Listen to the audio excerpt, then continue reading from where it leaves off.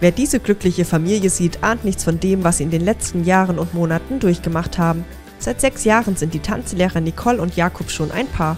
Doch ihr so dringender Kinderwunsch will sich einfach nicht erfüllen. Ich kann ja gar nicht so richtig überlegen. Ich merke jetzt schon, dass es wieder so hochkommt. Ja, also nach, nach Ja. dem Frauenarzt dieses nicht unter Druck setzen, klar. Äh, hört man überall. Es passiert dann, wenn man es nicht erwartet, sagt man ja immer. Genau. Äh, aber wir wollen tatsächlich wissen, warum es gerade jetzt nicht passiert. Aber wir haben uns nicht unter Druck gesetzt. Wir haben gesagt, wir möchten ein Kind, ja. Aber wir haben gesagt, und wenn es jetzt zwei Jahre dauert, ist es okay. Aber es ist ja nicht gewöhnlich, ne? Man sagt ja, bis zu einem Jahr ist es völlig normal. Ähm, aber dann war es halt schon über ein Jahr, dann waren es schon über anderthalb Jahre und es wurde irgendwie immer mehr. Die beiden suchen sich Hilfe in der Kinderwunschklinik in Kiel. Nach mehreren Beratungsgesprächen, Therapien und Untersuchungen dann die Empfehlung zur künstlichen Befruchtung. Ja, da redet ja auch niemand drüber, ne? Genau. Keiner redet über künstliche Befruchtung und dann seid ihr dieses Pärchen oder wir waren dieses Pärchen, die das machen müssen. Und man weiß ja auch, wie viel das kostet, ne? Das ist Ja, schon genau. extrem. Also Das ist wirklich extrem. Allein die Kosten haben uns natürlich auch so ein bisschen einfach, äh, Sorgen gemacht. ganz genau, So, sehr ja. große Sorgen gemacht sogar. Ja. Doch Nicole und Jakob haben großes Glück. Sie finden eine der wenigen Krankenkassen, die die Kosten zu 100% übernimmt. Dem jungen Paar fällt ein riesiger Stein vom Herzen. Ja.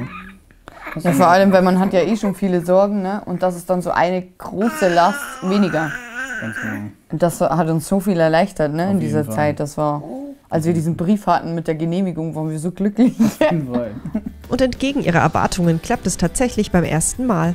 Nicoles Schwangerschaftstest ist positiv. Ich habe es auch gar nicht geglaubt, weil wenn man so lange jeden Tag oder jeden Monat wieder einen negativen Test hat oder seine Periode bekommt, dann glaubt man da nicht mehr dran. Genau. Man glaubt nicht mehr, dass man irgendwann eine Kugel bekommt, dass man irgendwann diese zwei Striche, wie man auf die sehnsüchtig wartet, das ist Wahnsinn.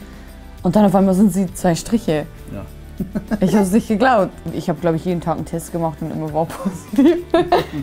Die Schwangerschaft verläuft bis auf etwas Übelkeit wie im Lehrbuch. Bis kurz vor der Geburt.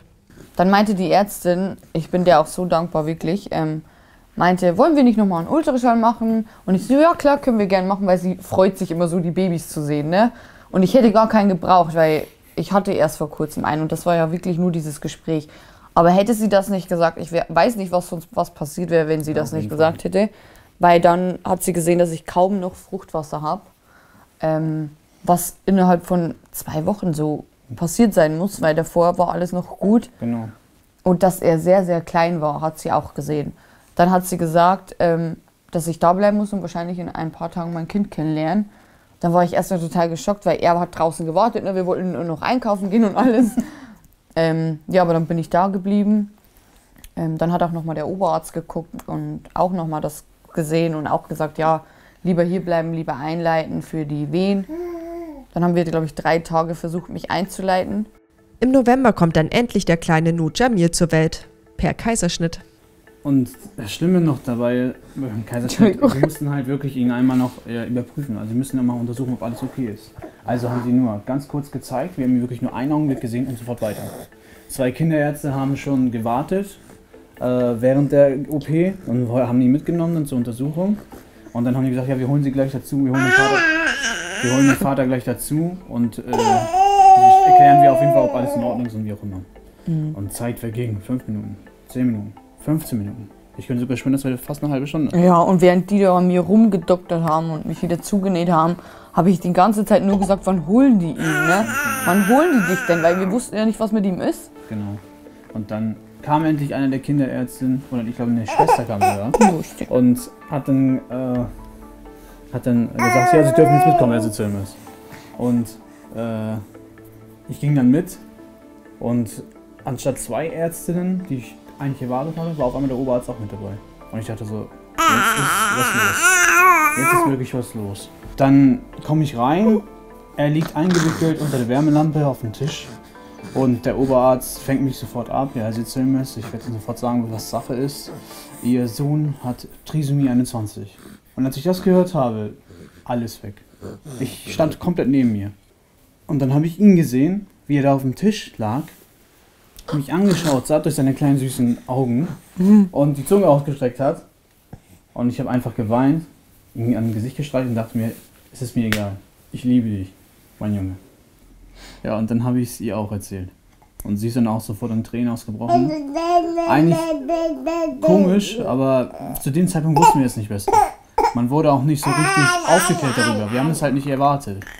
Man hat halt eigentlich nur die schlechten Sachen erzählt, ne? Genau. Man hat gesagt, also man hat, was man eigentlich, nicht nur die schlechten Sachen, das ist falsch, aber ja, die Kinder sind ja so glücklich. Ja, ich meine ganz ehrlich, jedes Kind, das in einer richtigen Familie aufwächst, ist glücklich. Das hat nichts damit zu tun, dass er das Down-Syndrom hat.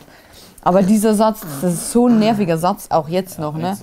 Ähm, und dann hat man aber gesagt, ja, aber er wird wahrscheinlich nie selbstständig werden. Woher willst du das wissen? Kannst du das bei einem Kind ohne Down-Syndrom sagen, ob das jemand selbstständig wird? Genau. Kannst du doch auch nicht sagen. Das sind jetzt so Sachen, die wir im Nachhinein natürlich denken. Ne? Ganz- Letztendlich wurde uns so viel, ähm, ähm, wie heißt es, so viel Angst gemacht und so viele Sorgen, die, die sich jetzt letztendlich alle ähm, nicht bestätigt haben. Er hat keinen Herzfehler, er hört perfekt, er entwickelt sich mega gut. Ähm, klar kann es auch anders laufen, aber ich finde, man, sollte, man sagt ja auch nicht, dein Kind kann vielleicht mal Depression bekommen. Dein Kind kann vielleicht mal selbstmordgefährdet werden oder sonst irgendwas. Ne? Das sagt man doch auch keiner Mutter, die jetzt gerade auch ein Neugeborenes bekommen hat. Das hat man uns aber nur gesagt, weil er das Down-Syndrom hat. Und das finde ich so falsch. Da wollen wir halt wirklich einfach die Menschen so ein bisschen auch aufklären. Gerade weil wir ihn haben und er ist wirklich einfach ein Goldschatz. So viel Liebe, wie er uns entgegenbringt, das ist unglaublich. Äh, wir, wir dachten auch, es wurde uns auch gesagt, ja, Down- Down-Syndrom-Kinder, die lächeln erst ganz spät. Die haben eine ganz verspätete Reaktion und ganz Empfindlichkeit, die kommt, das kommt alles sch- spät. Er hat nach den ersten zwei Monaten gelächelt. Hat er Ja, uns angelacht. das war so schön. So weiß ich noch ganz genau. Eines Morgens, ich habe ihn gefüttert, habe ihn an seinen Wangen gekitzelt und dann guckt er mich an, lächelt. Ich so, oh, gleich nochmal. und lächelt wieder. Und gleich nochmal. Wieder, wieder gelächelt. Nicole und Jakob setzen sich von da ab für Inklusion ein, bieten sogar eine Babygruppe in der Tanzschule an. Die können zu mir in die Babygruppe kommen, egal was das Kind hat. Und auch zu uns, das haben wir auch extra nochmal dazu geschrieben. Wir hatten so einen Post bei Facebook reingestellt, dass sie in alle unsere Gruppen, weil das lernen wir unseren Kindern schon von Anfang an, unseren Schülern, dass egal wo du herkommst, egal wie du aussiehst und egal wie gut oder wie schlecht du bist, schlecht, wo kann man, kann man ja gar nicht ähm, sagen eigentlich, ähm, du kannst bei uns mitmachen. Egal, ob da jetzt ein Profitänzer dabei ist, du bist gerade voll der Anfänger. Das ist völlig egal, weil du wächst ja miteinander.